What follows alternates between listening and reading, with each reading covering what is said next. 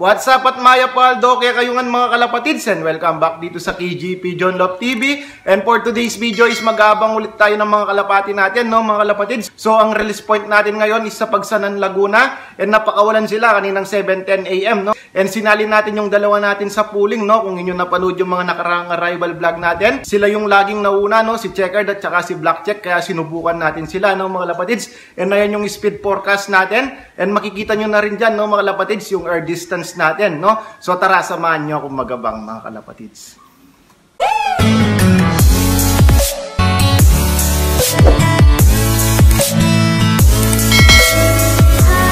And ayan mga kalapatid, as of 8.30 a.m. So nag-check tayo ng speed forecast natin, no? So yung kasalukuyang speed natin ngayon is nasa 1.3 pa, no mga kalapatid. So abang-abang na tayo, yan, nakapwesto na tayo dito sa waiting area natin. Kasama na natin yung juice ng mga warriors natin, no mga kalapatid. Ayan yung electrolytes. And kasama na rin natin dito yung pang-stick natin, no? Ayan mga kalapatids. And ito, bigyan ko lang kayo ng update dun sa hindi natin isinakay. So pangit pa rin yung dumi niya, no mga kalapatids. Ito siya. Ayan. Pangit pa rin yung dumi niya, oh, ayan, no.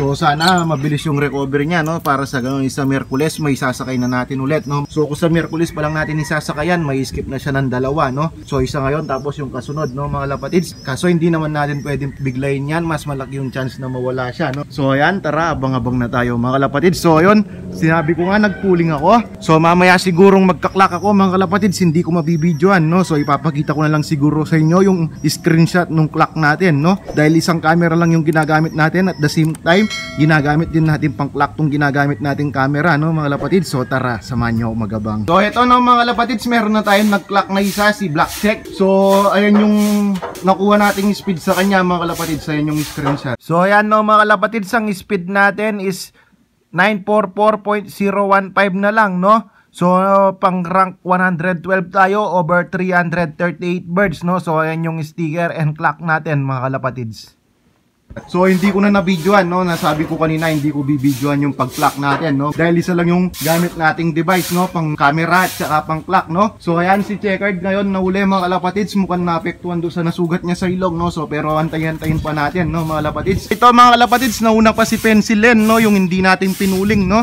So ayan siya. So kung inyong natatandaan, mahilap to no, hindi ganoon kasanay sa stick mga kalapatids pero subukan natin papasukin.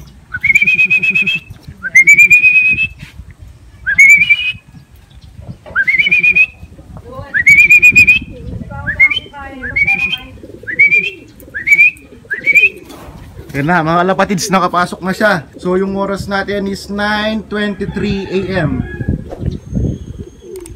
So, yan, abang-abang pa tayo, mga kalapatids. Ayan na si Peder, mga kalapatids.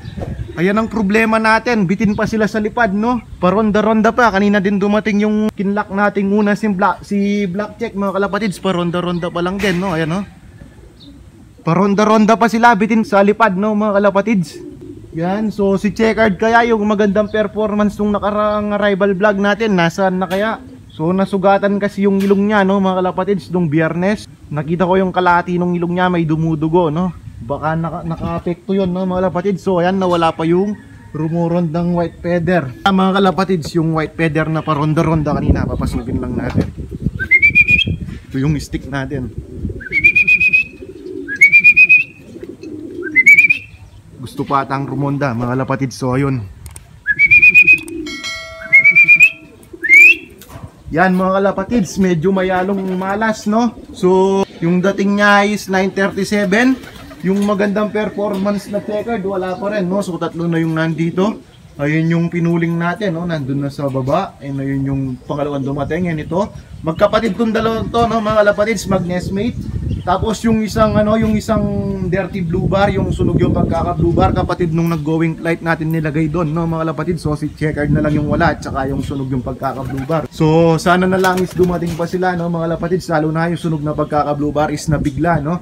So iniskip natin nung nakarang training dahil kakauwi lang nung saktong araw nung basketing natin, no mga kalapatids. Ayan. Yan na yung checkered natin mga kalapatids. Nauna pa yung sunog na pagkaka blue bar, no. Taklak ko muna 12 minutes na lang, cut off na tayo, no. So nagbago yung performance niya dahil siguro nasugatan siya no mga lapatid. So papasukin ko muna sila tsaka i-clock no.